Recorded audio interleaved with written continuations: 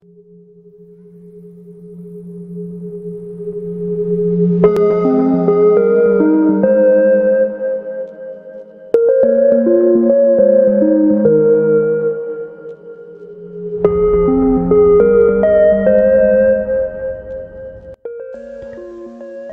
listrik murni Kia pertama EV6 tawarkan performa menjanjikan.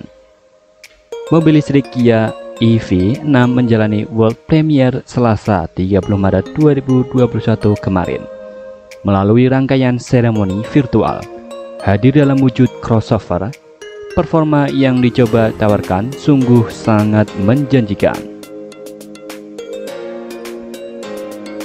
Salah satu variannya yaitu Kia EV6 GT Line diklaim mampu berakselerasi 0 sampai 100 km per jam hanya dalam tempo 3,5 detik saja.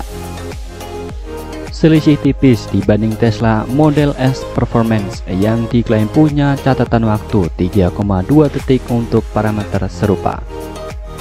Kia EV6 hadir sebagai model pertama dari penggunaan platform elektrik global modular platform yang memang didedikasikan untuk mobil-mobil listrik Kia. Ho Sung Song, Presiden NCO Kia mengatakan, kehadiran EV6 mewakili awal komitmen jangka panjang pihaknya terhadap mobilitas yang berkelanjutan. Selain itu, juga sebagai percepatan langkah transisi perusahaan menuju manufaktur, bahan dan produk yang bersih. Desain yang bergaya crossover Tampilan luar mobil ini diisi siluet bergaya crossover yang juga memperhatikan sisi aerodinamika. Maka itu tak aneh jika tarikan garis kap mesin hingga pilar C terlihat landai. Desain fascia Tiger Face tetap menjadi acuan untuk bagian depan kendaraan. Hanya saja mendapat sentuhan baru yang lebih mengikuti zaman. Kia menyebutnya dengan istilah digital Tiger Face kami sangat yakin EV6 adalah model yang menarik dan relevan untuk era elektrik vehicle. Jelas Karim Habib, Senior Vice President and Head of Kia Global Design Center. Tak kalah menarik adalah desain bagian belakang mobil ini yang diisi tail light berbentuk garis memanjang. Interior kontemporer Elemen paling mencolok di interior adalah layar infotainment lebar 12 inci yang melengkung dari sisi pengemudi sampai tengah dashboard. Secara keseluruhan interior itu sendiri terlihat modern lewat jok yang memiliki desain slim. Sementara itu panel-panel lainnya mengadopsi sentuhan yang kontemporer.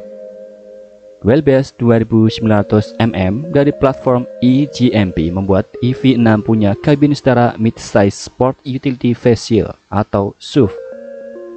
Saat bangku baris kedua dalam kondisi normal, kapasitas bagasi mencapai 522 liter. Sementara itu dalam kondisi terlipat, kapasitasnya bertambah hingga 1300 liter. Uniknya, Kia EV6 juga punya front trunk dengan kapasitas 52 liter untuk model 2WD dan 20 liter untuk model AWD. Varian dan baterai Mobil listrik Kia EV6 memiliki tiga varian yang kemudian dibedakan lagi berdasarkan kapasitas baterai dan sistem penggerak rodanya. Urutan varian dari yang paling standar adalah EV6, EV6 GT Line, dan EV6 GT.